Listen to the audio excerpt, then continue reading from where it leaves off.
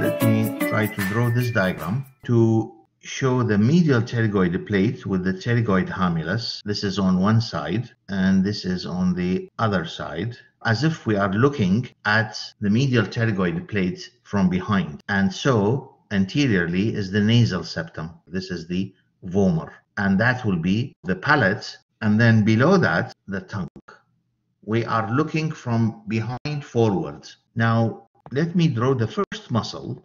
And this muscle is fleshy at this location where it's attached to the base of the skull. And then it reaches the pterygoid hamulus. It will become narrower. And then the flesh will give rise to an aponeurosis. An aponeurosis means wide flat tendon. So this is this muscle, when it contracts like this, it will cause tension of the aponeurosis and it is changing its direction because of the presence of the pterygoid hamulus, which acts like a pulley. And so it is the tensor veli palatini muscle. Of course, this is the muscle on the other side, and it will change its direction at this location. And so we have now the soft palate at, or let's say the skeleton of the soft palate behind the hard palate.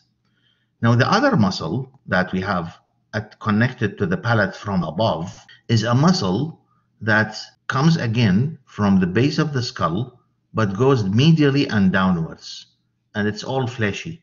And this is the levator veli palatini muscle. It can only act if the palate is tense. So usually the levator and the tensor veli palatini. They act together. And upwards they, at the base of the skull at this location is the uh, opening of the auditory tube you can see this is the nose and so behind the nose is the nasopharynx where the auditory tube opens. So now we have levator veli palatini and the tensor veli palatini muscle. There are some muscle fibers here connected, or these constitute what we call the musculus uvulae. Then from the lower part of the soft palate connected to it, there is another muscle here, and this muscle will go from the palate to the tongue so it is palatoglossus muscle. And then there is another muscle that goes down from the soft palate to the pharynx and more posterior. So this is the palatopharyngeus muscle. At this location is the tonsillar fossa and the palatine tonsil is located in between them.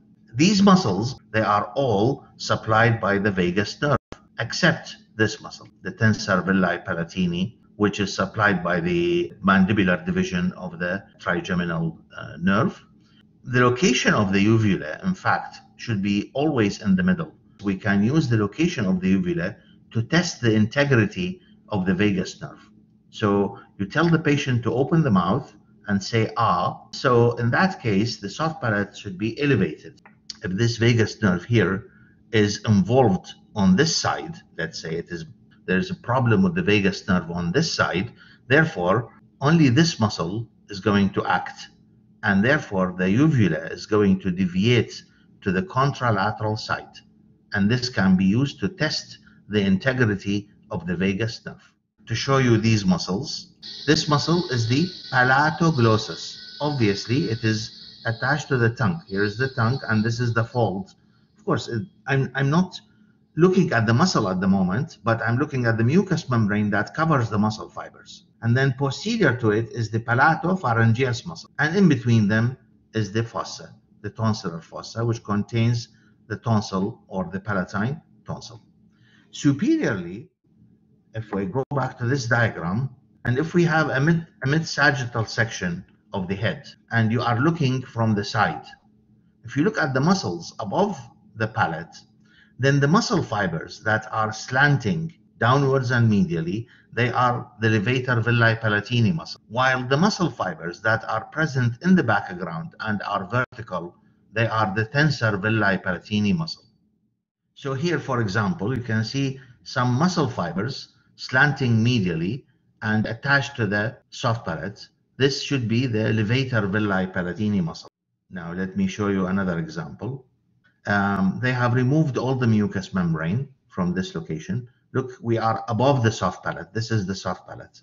So we have these muscle fibers slanting medially, levator veli palatini muscle, while those muscle fibers that are located in the background, in other words, more laterally, they are the tensor veli palatini muscle. They are tensor, although they are not here, they are not shown to be related to the palate, but in fact, they are going to change their direction and they are going to form the aponeurosis of the soft palate. So the aponeurosis here is the tendon of this muscle. And then it is covered by mucous membrane. It has like salivary glands.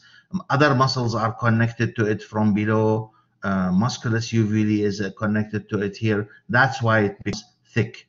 So it's not because it is aponeurotic, it is thick, but the aponeurosis constitutes the skeleton of this soft palate. So that's how you differentiate between tensor veli palatini muscle and levator veli palatini. The slanting muscle fibers are the levator veli palatini muscle. If you look at them from behind, both of them, they will constitute like the letter V, while the tensor veli palatini muscle will constitute the letter L, something like that. The, the pull of this muscle will cause tension here and the pull of this muscle will cause elevation of the tensed palate, soft palate, of course, not the hard palate.